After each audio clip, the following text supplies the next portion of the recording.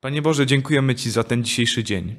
Dziękujemy Ci za to, że jesteś dla nas tak wielkim błogosławieństwem, że jesteś dla nas tak wspaniałym Bogiem, że możemy się cieszyć Tobą i radować. Daj mi Ducha Świętego, daj Ducha Świętego zborowi i spraw, byśmy mogli czerpać z tego, co będziemy studiować. Amen. Amen. Zanim zaczniemy studiować przypadek, e, właściwie to postać Jezusa trochę, to chciałbym Wam opowiedzieć moje doświadczenie. E, moje doświadczenie właśnie kryzysu, moje doświadczenie strachu, w którym byłem. E, pewnie się powtarzam, bo dość często mówię o, o tym momencie, w którym miałem tę depresję, w którym czułem się naprawdę źle, ale to tak trochę jak Paweł. Będę trajkotał o tym do końca życia, bo to jest dla mnie tak wielki cud, tak wspaniała rzecz, że nie wyzbędę się tego i będę opowiadał zawsze, co Pan Bóg dla mnie zrobił. Chciałbym Wam opowiedzieć o tym, że strach i kryzys to często są nierozłączne dwa elementy, które idą w parze. Często może być tak, że kryzys przyjmujemy ze spokojem, że jakiś kryzys, jakąś zapaść jakiejś sytuacji życiowej, czy może w pracy, czy czegokolwiek innego, może wiązać się ze spokojem, no bo jesteśmy do tego, załóżmy, wyszkoleni, możemy być przygotowani, e, możemy się spodziewać tego kryzysu. Ale kiedy kryzys nadchodzi i się tego nie spodziewamy, no to często pojawia się e, z tym strach. I moi drodzy, tak jak właśnie pewnie już wam nieraz opowiadałem, czy to prywatnie, czy, e, czy z zakazalnicy w ramach doświadczeń, czy kazania, to jak pamiętacie, to Miałem epizod właśnie tej depresji.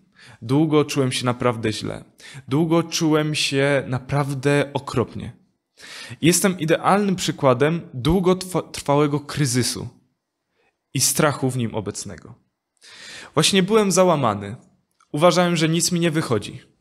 Uważałem, że w tym kryzysie nie jestem w stanie nic zrobić. Uważałem, że w tym kryzysie nie mam żadnej mocy. Co więcej, nie miałem żadnej, ale to żadnej chęci, żeby zrobić cokolwiek. Ciężko było mi po prostu wstać, ciężko było mi coś robić. Potrzebowałem bardzo ludzi, ale nie potrafiłem do nich pójść, pomimo tego, że bardzo ich chciałem i się bardzo izolowałem. Właśnie miałem ten brak chęci spotkania się z człowiekiem. Wiecie, to jest takie w, tej, w tym moim epizodzie, w ogóle w epizodzie tym depresyjnym, takim dziwne, że tak bardzo potrzebujecie ludzi w tym czasie, ale jednocześnie tak bardzo się od nich izolujecie. Ja właśnie miałem to. Moja mama specjalnie organizowała mi jakąś pracę w jej pracy po to, żebym mógł być z kimś. Żeby chociaż te zadanie, które mam, to żebym mógł tam kogoś poznać. I powiem wam, że to było bardzo, ale to bardzo mądre i przemyślane zagranie ze strony mojej mamy. W tym kryzysie ciężko było cokolwiek zrobić. najmniejsze niepowodzenia, nawet nie można nazwać tego niepowodzeniem, ale pot, potknięcie jakieś. Jakaś taka rzecz, która praktycznie nie ma sensu, nie ma znaczenia, były dla mnie wielkim, ale to wielkim ciężarem. Też przez kryzys, który przeżywałem, ten ciężki, głęboki kryzys, który był zakorzeniony głęboko w sercu, relacje z moją rodziną bardzo, ale to bardzo upadały. Bo wiecie, jak to jest? Jeżeli człowiek czuje się źle, to każda najmniejsza uwaga, każda najmniejsza jakaś taka sprawa, którą powierzają ci rodzice, tym bardziej, że jest jeszcze nastolatkiem, to jest największe zło świata. Uważałem, że moi rodzice są źli, że są okropni, że, że po prostu robią tylko to, co złe. I to było straszne, bo przecież oni tacy nie byli. Oni naprawdę się mnie troszczyli, dbali o mnie. Cokolwiek mogli, to robili, żebym czuł się dobrze. Nie miałem w ogóle też w kryzysie nadziei. Zero. Zero tej nadziei. Było tak, że każdego dnia budziłem się i chciałem umrzeć. Miałem tak, że życzyłem sobie tego, co Jeremiasz. Chciałbym, żeby tego dnia moich narodzin już, żeby po prostu nie było. Niech będzie przeklęty ten, kto powiedział mojemu ojcowi, że się urodziłem. I tak się czułem. To była tragedia. Strach był wszechobecny. Kryzys w moim życiu był wszechobecny. I podejrzewam, że nie tylko ja tak mam, Nie, nie trzeba mieć depresji. Nie trzeba mieć e, jakiegoś głębokiego stanu, takiego, e, w którym emocje nie funkcjonują dobrze, ale przecież każdy z nas może się znaleźć w różnym kryzysie.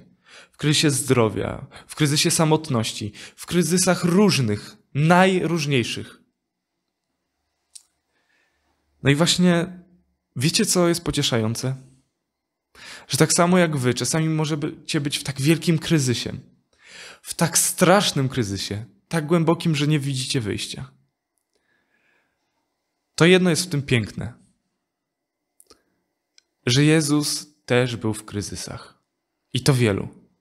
I zaraz sobie poczytamy, w których i kiedy i przez co. I to jest wspaniałe, że mamy taki też przykład, że możemy się odnieść do niego, że możemy mieć coś takiego, że rzeczywiście przeżywam katusze, ale ten, który za mnie zmarł, mnie rozumie, bo też on mnie przeżywał. Otwórzmy Ewangelię Mateusza i na razie w niej pozostaniemy. I słuchajcie. Jezus w jednym szczególnym momencie znajdował się w wielu kryzysach naraz. A był to właśnie moment, w którym miała rozpocząć się wieczerza pańska i miał wieczerzać po raz ostatni ze swoimi przyjaciółmi, ze swoimi uczniami, ze swoimi podobiecznymi. To było bardzo ciekawe, bo tam doznał kryzysu w wielu, wielu aspektach. W 26 rozdziale Ewangelii Mateusza, od 21 po 23, widzimy, co się stało. Kiedy oni jedli, powiedział: Zapewniam was, jeden z was mnie wyda.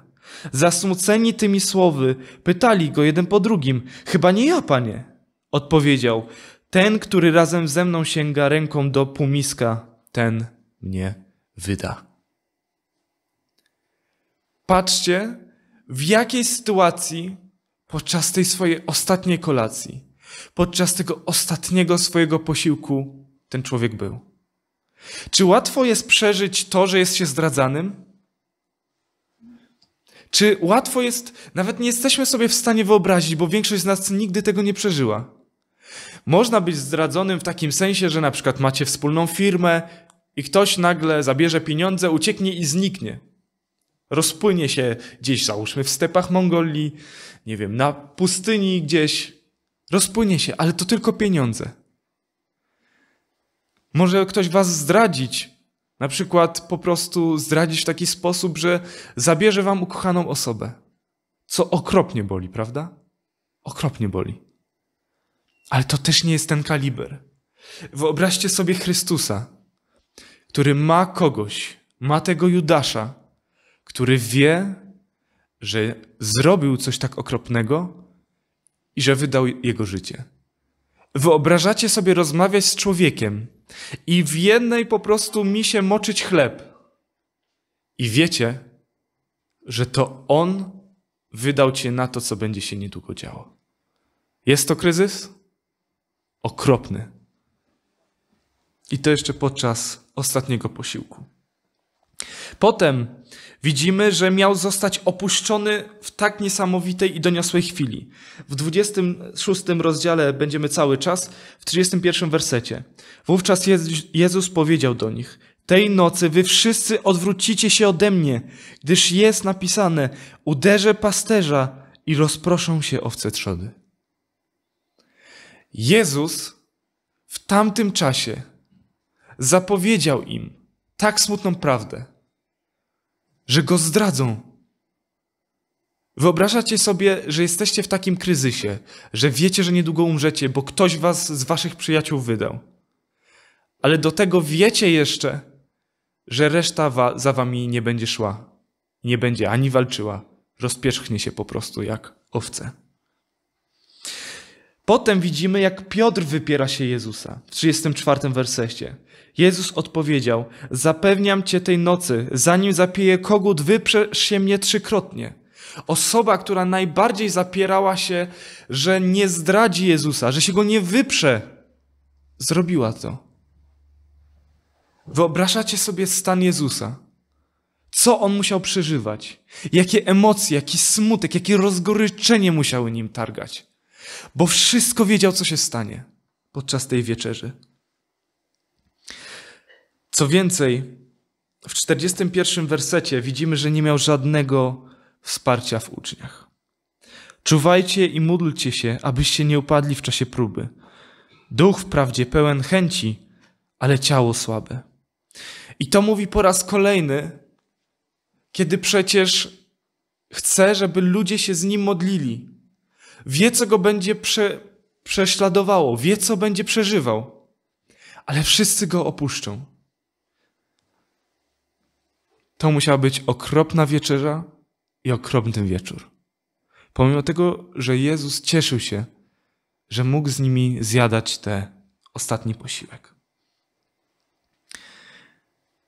I powiem Wam, że bardzo, jako ludzie, jesteśmy bardzo podobni do Chrystusa. Ja w moim doświadczeniu bardzo, ale to bardzo się bałem. Bałem się tej samotności w tym kryzysie. Podczas tego, gdy się tak źle czułem, bałem się tej samotności. I na przykład podejmowałem strasznie złe decyzje przez to, że się bałem. Bałem się samotności.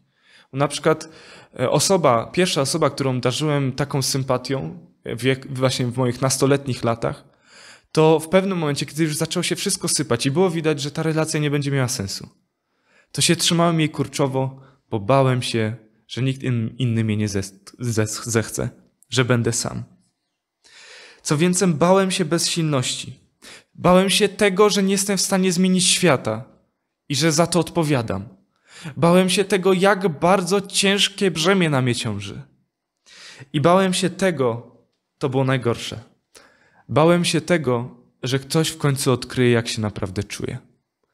Bałem się tego, że w końcu ktoś zobaczy, że jestem słaby. I bałem się do tego przyznać. I widzimy, że Jezus też się bał, też miał bardzo trudny czas. W wersetach 38 po 40 czytamy: Jest mi smutno na duszy, powiedział. Śmiertelnie smutno. Zostańcie tutaj. Czuwajcie. Czuwajcie ze mną.